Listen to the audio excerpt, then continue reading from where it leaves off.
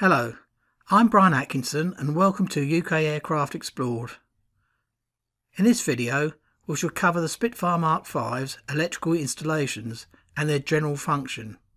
As we work our way through the various items of equipment, I shall give you extracts from the 1942 Air Ministry Manual along with wartime electrical circuit AP diagrams that I've reworked into colour. I hope you find this interesting. We shall go in turn through the Spitfire Mark V's electrical equipment, starting with the generator. Electrical power is supplied from a 750 watt shunt wound engine driven generator type LX, which is mounted on the port side of the Merlin engine. Here is a view of the generator's air cooling intake, located on the port cowling panel. During flight, the generator charges the 12 volt 40 amp hour accumulator type D which is mounted on the starboard side at the rear of the pilot's seat. Power passes through a suppressor type W which prevents interference with the aircraft's radio equipment. A carbon pile voltage regulator mounted behind the pilot's headrest is included in the circuit to maintain a constant voltage irrespective of engine speeds and load fluctuations. A voltmeter is mounted on the instrument panel in the top starboard corner and is connected across the accumulator. The electrical system comprises of 17 fused circuits allocated in the following manner. 10 fuses for electrical services, 4 fuses for the radio, 2 for the undercarriage indicators and 1 for engine starting. These fuses are contained in two 8-way fuse boxes and one 4-way as shown here. The generator control along with either the TR9D or the TR1133 or 1143 radio fuses being in single unit fuse boxes mounted on the port side of the cockpit. One 8-way fuse box together with the 4-way box is mounted on the port side of the cockpit below the door. The other 8-way fuse box is mounted above the bottom longeron on the port side of the cockpit. Connection to the main planes is made through 10-way plugs and sockets mounted in the wing roots. Marked 3 on these AP diagrams, here's the port wing root, and here is the starboard wing root. A 3-pin socket is mounted on the port side of the fuselage after frame 11 under the fillet for testing the electrical services or radio installation. A door cut in the fillet gives access to the socket as you can see here. In Spitfires not fitted with a fuel pressure gauge, a fuel pressure warning lamp is fitted in its place on the pilot's instrument panel to attract his attention should the fuel pressure fall below a safe working value. The lamp is fitted to a diaphragm switch fitted on the engine in the fuel system. The switch controlling the navigation lamps is fitted at the top port corner of the instrument panel.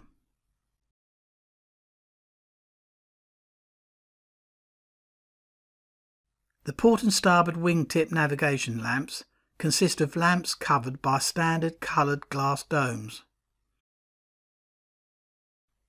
The lamps are inserted in holders attached to the face of the spar at the wingtips and the domes are held in position by detachable shields shaped to conform to the contour of the aerofoil and to give the required cut-off angle.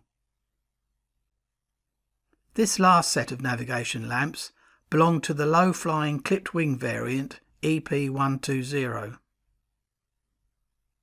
The tail navigation lamp is inserted in a holder inset in the trailing edge of the rudder and is covered by a streamlined screw-on dome.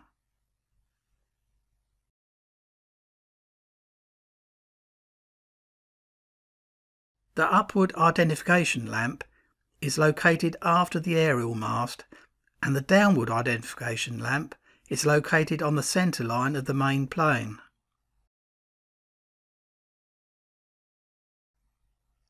Their purpose is to send a Morse code identification signal or steady beam from the aircraft. Here is a view of the upward identification lamp.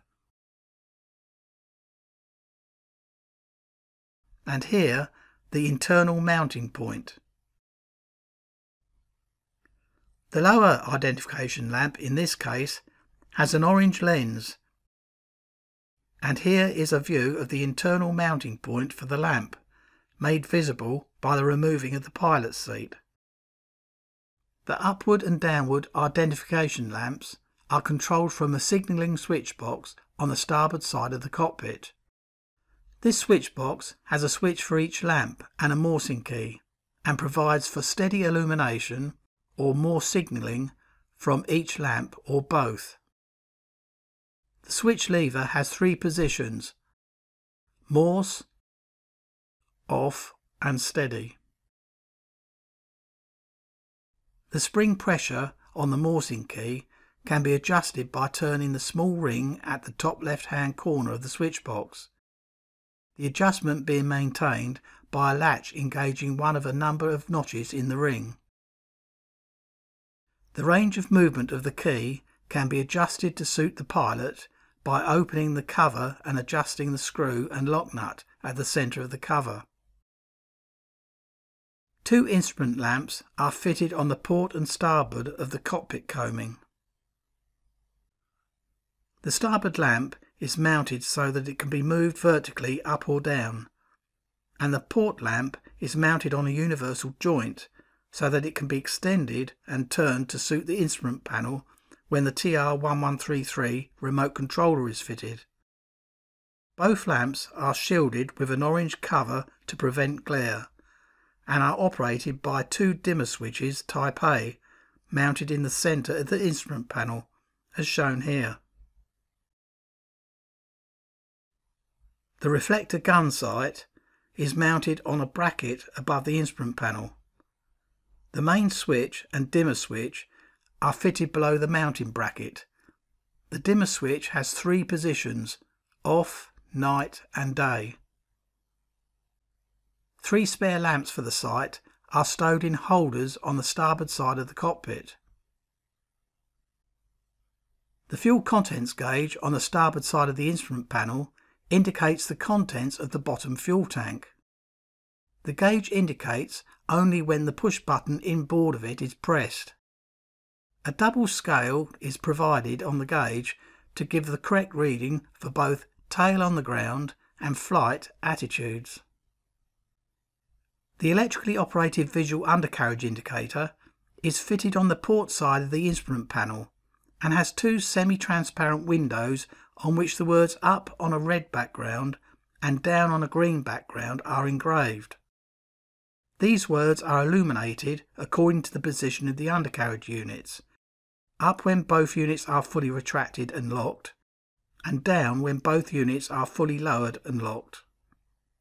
The switch for the down circuit of the indicator is mounted on the inboard side of the throttle quadrant and is moved to the on position by means of a striker on the throttle lever and should be returned to the off position by hand when the aircraft is left standing for any length of time. The up circuit is not controlled by this switch. The lamps behind the windows of the undercarriage indicator are duplicated and wired in parallel. The undercarriage warning horn for audible warning is mounted behind the pilot close to his head and sounds when the throttle is less than one third open if the wheels are not locked down. The push switch controlling the horn is mounted on the throttle quadrant and is operated by a striker on the throttle lever. When it is desired to stop the horn from sounding, even though the wheels are retracted and the engine is throttled back, the pilot may do so by depressing the push button on the side of the throttle switch.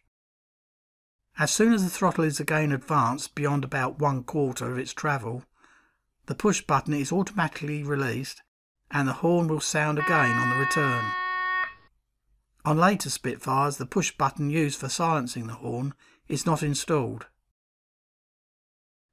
Moving on, the G42B or the later G45 camera gun is mounted on a bracket attached to a rib on the port wing, exposures being made through a hole in the leading edge fillet. We shall be covering the G45 camera gun installation and operation in another video. However, from an electrical point of view, the multi-core cable is enclosed in a tubular conduit which extends forward and above the main spar to the back of the camera. When the camera is removed, the socket end of the cable should be placed in the stowage bracket. A combined footage indicator and aperture control is mounted on a wedge plate in the cockpit above the throttle quadrant and is connected to the electrical circuit by means of the adjacent socket. The master switch is situated on the side of the fuselage, forward of the fuse panel. A push button for operating the camera independently is fitted to the control column. The heating element for the airspeed indicator pressure head is controlled from the switch below the trimming tab handwheels. To prevent the undue discharge of the accumulator, the element should be switched off on landing. An oil dilution valve to assist starting in cold weather is fitted to the engine on the port side and is controlled by a push switch with a guard attached to the port side of the cockpit. The socket for the pilot's heated gloves and boot supply is fitted in the starboard side of the cockpit at the top of frame 10 in such a manner that the connection will automatically break if the pilot omits to disconnect when leaving the aircraft. The space between the oxygen pipe and the aft side of frame 10 forms a stowage for the socket when the latter is not in use. The engine starter motor is fitted to the starboard side of the engine and a boost coil is mounted on the starboard side of the fireproof bulkhead. These are controlled by two push switches mounted in the centre of the instrument panel. Connection to the starter motor being made through a magnetic relay. The main magneto switches are mounted on the bottom left of the instrument panel. Electrical current is supplied to the starter motor from the accumulator, or alternatively by an external accumulator known as a trolliac, which can be connected through a socket mounted on the starboard engine bearer, as shown here.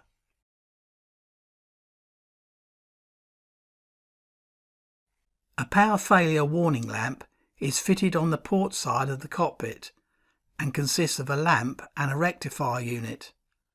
The lamp will light if either the accumulator cutout or generator fuse are open circuited.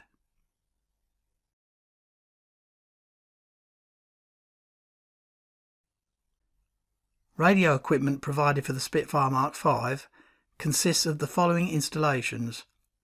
ARI 5000 with either TR1133 or 1143 with beam approach if it was required, or ARI 5000 with the TR9D, which is fitted only as part of the tropical conversion set.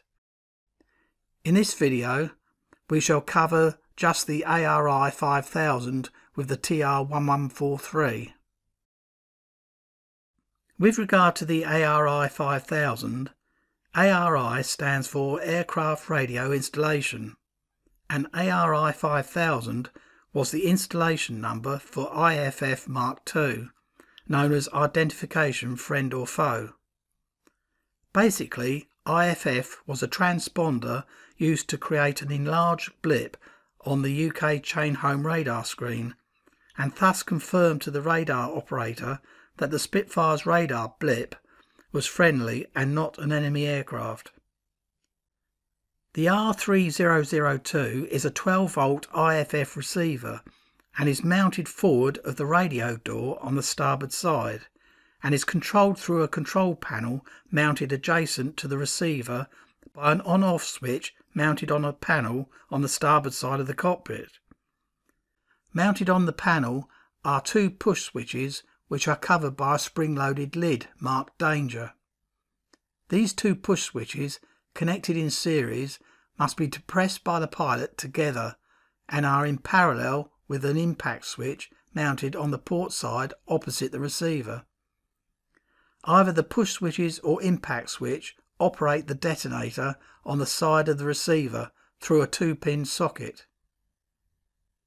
Aerials run from the outer leading edges of the tailplanes and enter the fuselage just after the radio door through insulator eyelet points, being fixed inside the fuselage by means of two shock absorber cords. Connection to the receiver is made by means of a two single pole sockets. Feed to the control unit is made through a 3-pin plug and socket. And now for a look at the TR1143 system. Wireless stowage access is gained through a door fitted on the port side of the fuselage. Here is a view of the wireless stowage tray. The TR1143 transmitter receiver is mounted on a tray which is similar to and interchangeable with that of the TR9D unit. The unit is attached to four shock absorbers by means of the bolts and check washers which are used to secure it to the transit case. A push button electrical control unit is mounted on a base plate which is interchangeable with the plate for the mechanical remote control of the TR9D. The aerial mast is fitted at its base with a screen socket which accommodates the aerial plug from the TR1143. The mic-tel socket and the remote contactor gear are the same as those employed with the TR9D. The junction box, which is a separate unit, is attached to brackets on the port side below the transmitter receiver. A special shorted socket is provided in place of beam approach if it wasn't fitted. The electrical harness consists of metal braided connectors which are secured in roller type spring clips that are provided to enable the various flexible conduits to be secured quickly in position. These clips are marked with red lines. The motor generator is mounted below the transmitter receiver mounting on two rails fitted with shock absorbers. Finally, here are details and positions of the various items of beam approach equipment, which could be used with either the TR1133 or 1143. The amplifier is mounted within the roof of the fuselage after the radio bay on a mounting that contains stowage for the connectors. The aerial is mounted on the underside of the aeroplane, directly under the TR1133 or 1143 radio and is connected to the amplifier by a screen socket which is incorporated in the aerial mounting. The switch unit controlling the amplifier is mounted on a bracket near the remote contactor which is on the starboard side of the cockpit. Before I finish this video, Here's the AP circuit diagrams for both the TR1133 system and here is the TR9D system. Well that's it for this video. I do hope you found it interesting. Please click the free subscribe button below and also like to get notifications when future videos are posted. Thanks as always for watching and I'll see you again next time. Bye for now.